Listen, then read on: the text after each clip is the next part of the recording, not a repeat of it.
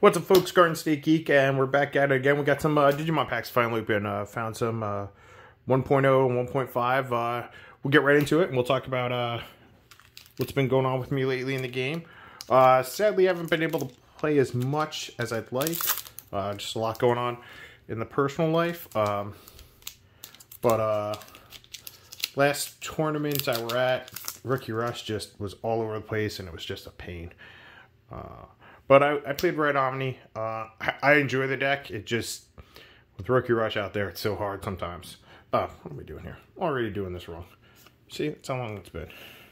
Oh, I'm dropping cards too. Let's do egg roulette, because uh, we don't get to do that as much with uh, 1.5. We got red. Alright, let's see what our uh, first card is. Breath of the Gods, followed by... Holy shit. Holy shit, that is what we're talking about. Omnimon Alter S. Yes. Yes, yes, yes. Let's leave that right up. Oh, man. Okay. Wow. Uh, what a way to start the video. Uh, I definitely needed another one of these guys. Uh, wow. Uh, what a beautiful card. Okay. Uh, Oh, I guess that's where my, my luck's been waiting to go, huh? Wow. That's, I, I, am still taking it back. Omnimon, Alter S. Like I said, I, I only had one, and I really didn't want to pay individual prices for one. Hey, egg roulette again. I'm going to say blue this time. And it's purple. That's okay. Wow. Uh, holy crap. Okay. Uh, our rare this time is, uh, our first card, today is Phoenixmon followed by Ragnaloardmon. Uh, that's a great deck too. Uh, see some people playing it. it it's good and bad. Uh, matchup wise, it just gets kind of run all over, sadly, sometimes. Uh, but uh, I, I played against uh, Rag, Ragnaloardmon in the last tournament I was in, and yeah, I sadly just ran all over him. He, uh, they have to give you so much memory, and for Red, for Red Omni, that's that's just free real estate all day, which is a bad way to go. But egg roulette, uh, yellow. Ah, we got red. Okay. Let's see. We got Metal Greymon as a rare, followed by Ophanimon. Beautiful card. Um, state of the game, though. Uh, the game's going... I think the game's doing okay. Um, some things are starting to settle down. Uh, it's good to see that starter decks are starting to settle in price a bit. Somewhat, not really. Black. Um, I mean, trying to find a starter deck below 20 bucks is impossible at this point. Ooh, first rare Veemon for all the rookie rush out there. Followed by Rina Shinom Shinomiya. Um, but, uh, they are settling a little bit because more of them are getting out there, but I, I think still the average price for a red starter is like 30 or 35, and the average price for uh, the other two are like 20 or 25, depending on the stores and everything. And we're going to start with Ken Ichijoji. Ichijoji? Butchering these names. And Stingmon. Great card for uh, green right there. So that was our 1.5 packs, and we got a 5 1.0. Can we double Omni? That would be uh, amazing. I would, uh, I don't even know what I do. I'm dropping stuff. That's okay. But, uh,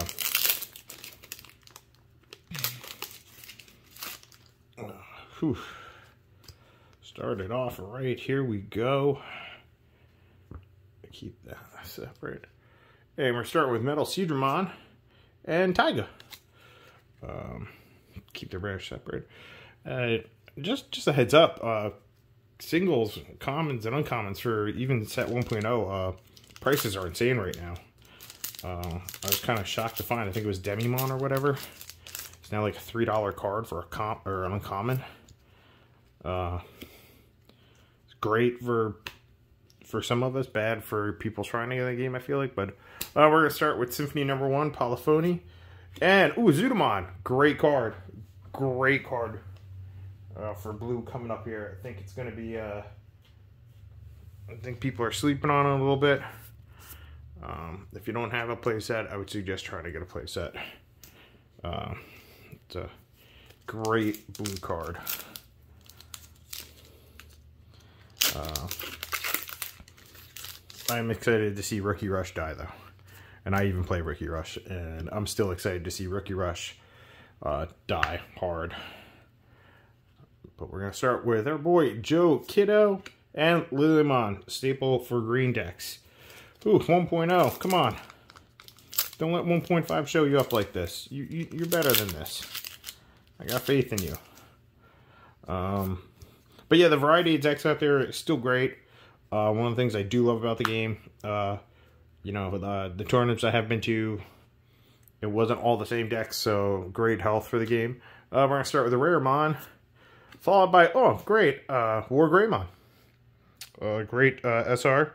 Um, this about to get a boost, I think, in this set or the next set. But uh, great SR. Again, beautiful art because one thing Digimon has going for it is great art.